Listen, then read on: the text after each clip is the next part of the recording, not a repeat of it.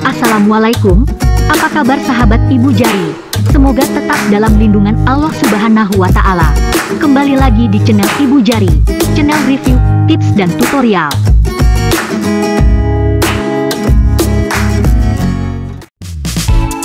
Berkunjung ke Semarang tak lengkap rasanya jika tidak mencoba wisata kuliner Semarang yang terkenal dan populer. Wisata kuliner Semarang menawarkan ragam hidangan yang lezat dan menarik untuk dicoba. Mulai dari hidangan manis hingga gurih, beragam tempat wisata kuliner di Semarang patut dikunjungi, terutama setelah lelah berkeliling kota Semarang.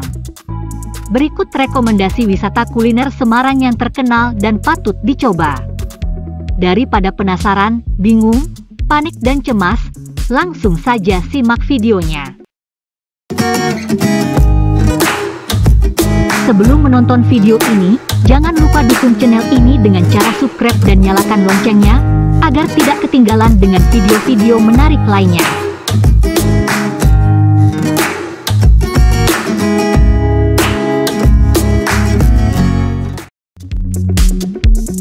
Yang pertama, Leker Paimo.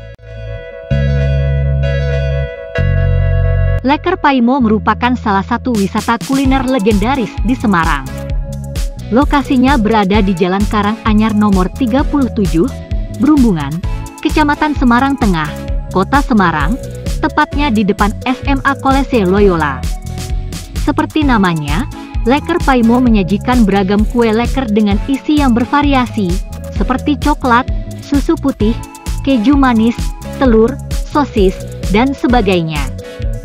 Pilihan menunya dijual mulai dari harga Rp5.000 hingga Rp35.000.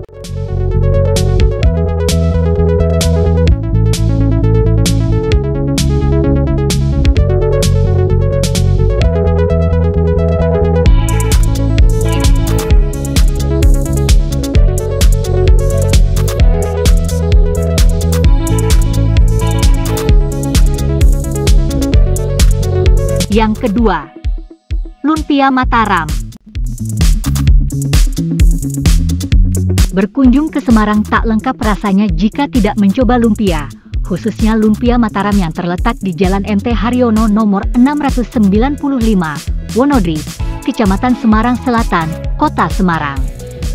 Wisata kuliner satu ini menawarkan hidangan lumpia yang bervariasi. Mulai dari lumpia basah, lumpia goreng, lumpia original, hingga lumpia spesial. Wisatawan yang ingin membawa buah tangan saat pulang juga dapat membeli lumpia dalam kemasan vakum yang tahan hingga 10 hari. Kemasan vakum berisi 5 lumpia.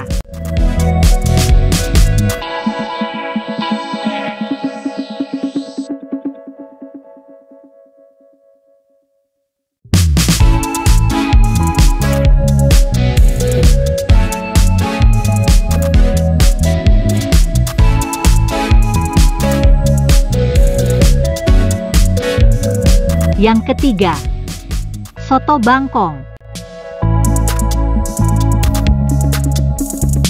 Soto Bangkong merupakan salah satu wisata kuliner legendaris yang sudah ada dari sekitar tahun 1950.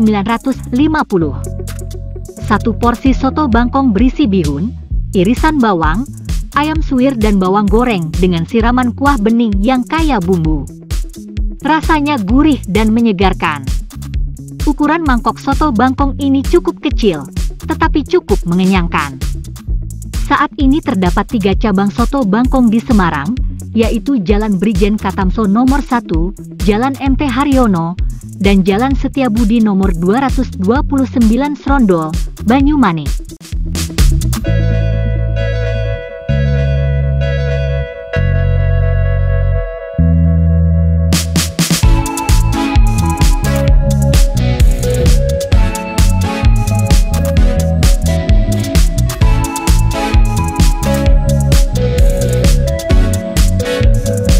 Yang keempat, seafood Pak Sangkla.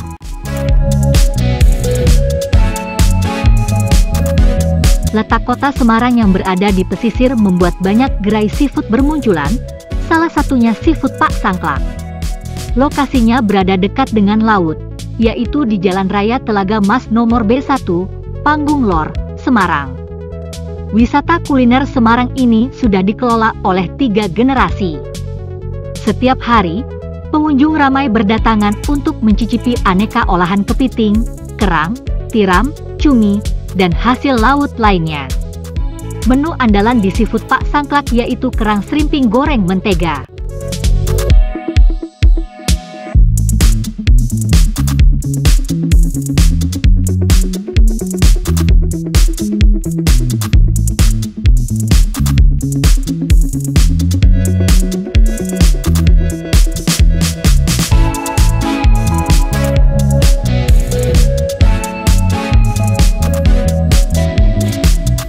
Kelima, Toko Wun Semarang.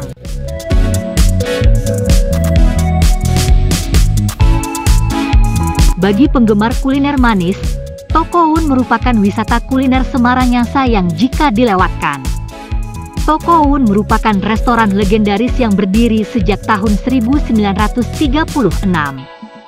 Lokasinya menempati sebuah bangunan kuno di Jalan-Jalan Pemuda nomor 52, Bangun Harjo, Semarang Tengah. Menu andalan restoran ini adalah es krim yang terdiri dari berbagai varian rasa, seperti coklat, vanila, buah, dan kopior. Ada pula hidangan Owun es simfoni yang ikonik, yaitu 5 scoop es krim dengan rasa yang berbeda dan disajikan dengan slagrum dan kue lidah kucing. Selain hidangan cita rasa manis, pengunjung dapat mencoba berbagai olahan makanan khas Italia, Eropa, dan Indonesia pengunjung dapat menyantap hidangan sambil menikmati nuansa tempo dulu di Toko Wun, cocok untuk bersantai bersama teman dan keluarga.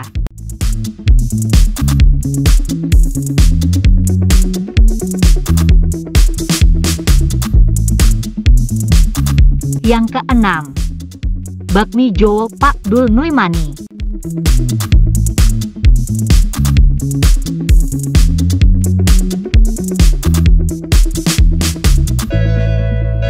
Bakmi Jowo Pak Dul Numani berlokasi di Jalan Pemuda nomor 117, Sekayu, Semarang Tengah. Wisata kuliner ini menyajikan olahan mie dan nasi goreng yang dimasak dengan peralatan tradisional, yaitu tungku dari tanah liat dan arang sebagai sumber api. Setiap hidangan dimasak satu persatu dalam wajan kecil sehingga kualitas dan rasa makanan tetap terjaga.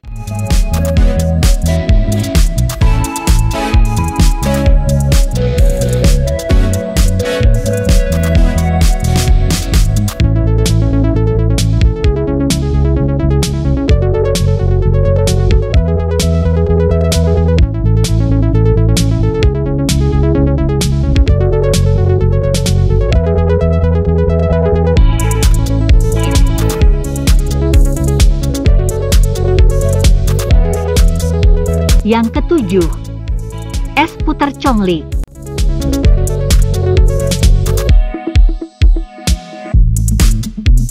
Setelah lelah berkeliling kota Semarang yang cukup panas, menikmati es puter conglik rasanya menyegarkan.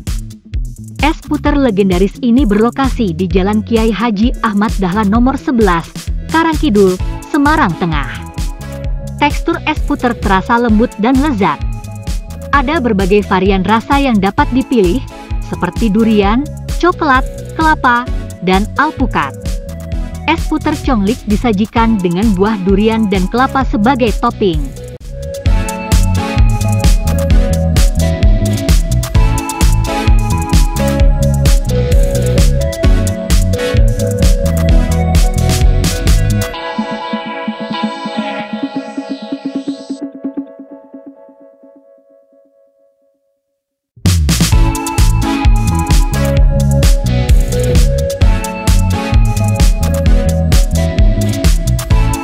Yang kedelapan, mie kopiok Pak Dur.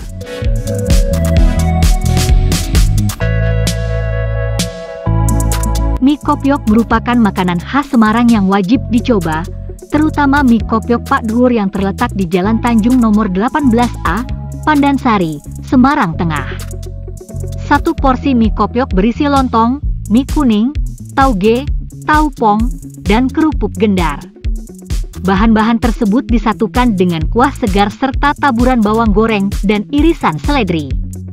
Tekstur mie yang lembut berpadu dengan toge yang renyah serta kerupuk yang gurih menambah kelezatan mie kopiok Pak Dur.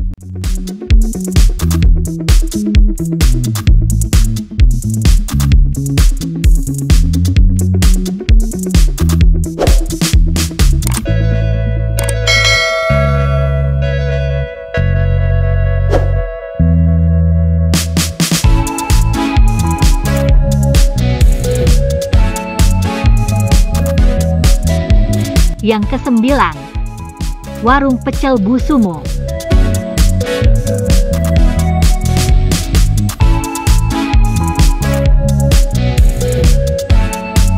Warung Pecel Bu Sumo dirintis sejak tahun 1965. Wisata kuliner Semarang yang legendaris ini telah memiliki banyak cabang, yaitu di Jalan Kiai Saleh nomor 10, Mugasari, Jalan Fatmawati nomor 34, Kedung Mundu, Jalan Setia Budi nomor 35, Tinjomoyo, dan Jalan Ahmad Yani, Sidomulyo. Satu porsi pecel berisi nasi hangat, rebusan bayam, kacang panjang dan tauge yang disiram bumbu kacang.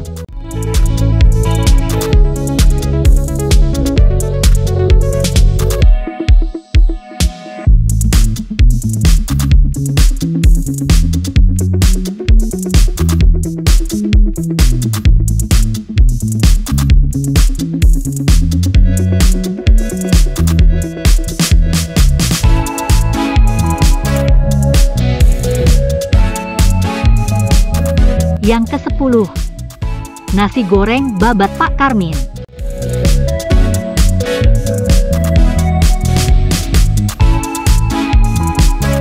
Nasi goreng babat Pak Karmin berlokasi di Jalan Pemuda nomor 2, Dadap Sari, Semarang Utara, dekat dengan Jembatan Embro. Lokasinya dekat dengan kawasan kota lama Semarang, sehingga pengunjung yang lelah berkeliling bisa datang ke sini untuk bersantap. Selain menu andalan nasi goreng babat, banyak menu lain yang tak kalah lezat, seperti babat gongso.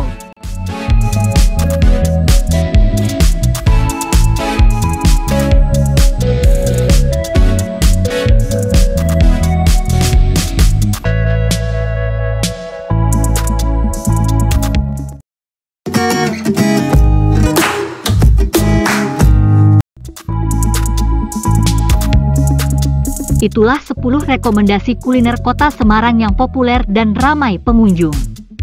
Tentunya masih banyak lagi kuliner kota Semarang lainnya yang wajib Anda kunjungi. Tetap dukung channel ini dengan cara subscribe dan nyalakan loncengnya. Tekan like jika Anda suka, share ke teman-teman kalian, ketik di kolom komentar apabila ingin berbagi pengalaman tentang video ini. Terima kasih sudah menonton. Sampai jumpa.